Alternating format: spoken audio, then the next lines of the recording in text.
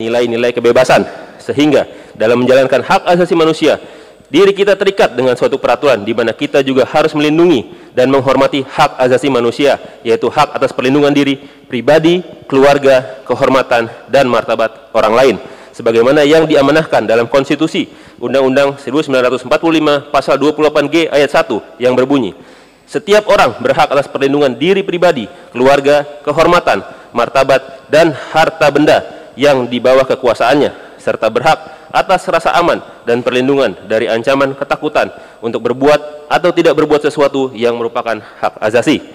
Namun demikian, sangat disayangkan bahwa sikap dan semangat penuntut umum dan majelis hakim dalam upaya mencari, menggali, dan menemukan kebenaran material dalam perkara akuo di persidangan dengan cara mengadili secara objektif, arif, dan bijaksana justru berbanding terbalik dengan sikap dan semangat dari penasihat hukum Haris Azhar dan Fatihah Maulidianti dari tim advokasi untuk demokrasi yang justru tidak dapat menggunakan kesempatan tersebut dengan sebaik-baiknya.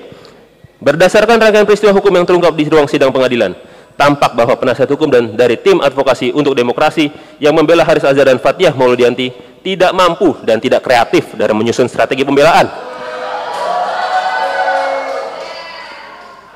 Argumen dan bukti yang mereka ajukan tidak memiliki dasar yuridis sehingga dengan mudah sudah kami prediksi analisa, dan uraikan dengan detail sejak nota tanggapan eksepsi dibuat dan dibacakan oleh penuntut umum. Hal ini menunjukkan kelemahan yang signifikan dalam pendekatan pembelaan yang mereka ajukan. Selain itu, citra kesucian yang dipakai sebagai tameng oleh penasihat hukum dari tim advokasi untuk demokrasi tampak terbongkar dengan sendirinya saat kericuhan demi kericuhan yang seolah mereka nikmati mulai terekspos di ruang sidang pengadilan perkara ini. Integritas profesi penasihat hukum sebagai officium nobile telah dikesampingkan sementara kepercayaan publik telah dipermainkan. Tampaknya pendekatan kekerasan verbal seolah menjadi strategi utama yang dipilih dalam proses persidangan ini.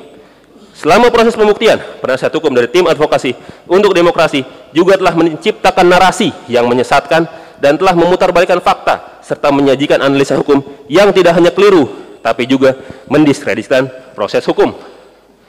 Selama proses persidangan ini berlangsung, Penasihat hukum dari tim advokasi untuk demokrasi telah berusaha keras menutupi niat jahat Haris Azhar dan Fatihah Maulianti yang sudah dijelaskan dengan lugas dalam surat dakwaan dan terkonfirmasi di tahap pembuktian.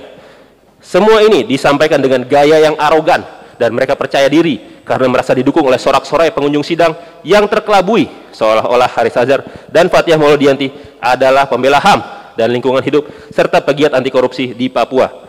Padahal faktanya sangat jauh dari itu. Sungguh sebuah tindakan manipulatif yang sama sekali tidak mengesankan. Perlu dipahami bahwa konstruksi pengelabuan ini diciptakan untuk mencoreng proses penegakan hukum. Ada upaya sistematis untuk menampilkan seolah-olah proses hukum ini merupakan upaya kriminalisasi ataupun judicial harassment terhadap Haris Azhar dan Fatihah Mauludianti. Peradilan pidana yang merupakan suatu sistem penyelesaian konflik yang seharusnya dihormati kini seolah dipersonifikasikan oleh penasihat hukum dari tim advokasi untuk demokrasi sebagai entitas yang ingin menekan suara kritis terutama yang berkaitan dengan pembelaan HAM dan lingkungan hidup serta pegiat anti korupsi di Papua. Lebih jauh lagi ada upaya untuk menampilkan proses penegakan hukum ini seolah-olah telah melanggar anti-strategic lawsuit against public participation atau anti-SLAP. Untuk itu perlu ditegaskan bahwa setiap pihak harus memahami fakta dan bukan terjebak dalam narasi yang menyesatkan.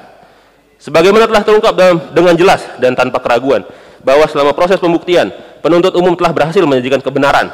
Majelis hakim yang terhormat dalam perkara ini juga telah terbukti sah menjalankan persidangan sesuai dengan hukum yang berlaku. Sekali lagi kami tegaskan, persidangan ini bukanlah upaya untuk membungkam suara kritis, khususnya yang berkaitan dengan pembelaan HAM dan lingkungan hidup, serta pegiat anti korupsi di Papua Sebaliknya, tindakan penuntutan ini secara spesifik ditujukan untuk menangani perbuatan subjektif yang dilakukan oleh Haris Azhar dan Fatihah Mauludianti yang telah mencemarkan kehormatan dan atau nama baik saksi korban Luhut bin Sarpanjaitan. Setiap pihak kiranya dapat memahami dan menghormati proses hukum yang sedang berlangsung ini dan bukan merendahkannya dengan asumsi negatif serta seolah tanpa makna.